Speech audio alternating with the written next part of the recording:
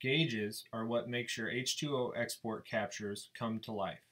With the video and data you have captured, you can overlay graphical gauges on your video and have them display real-time data as your video plays.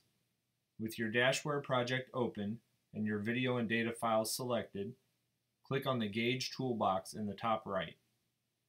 Dashware comes preloaded with several different gauges for displaying all kinds of data. To add these to your video file, simply drag the gauge onto your video screen. You can double click a gauge to view the properties and make sure it's pointed to the correct data source element.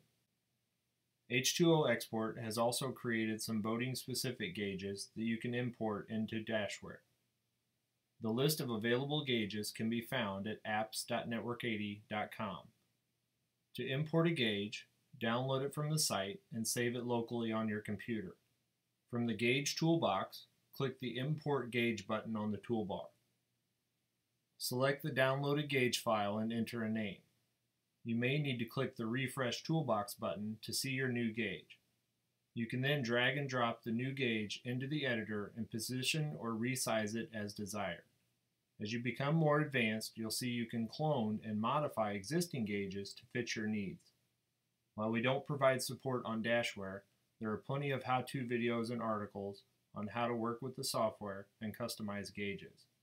Also, feel free to email our support with any questions and we'll do our best to get you the answer.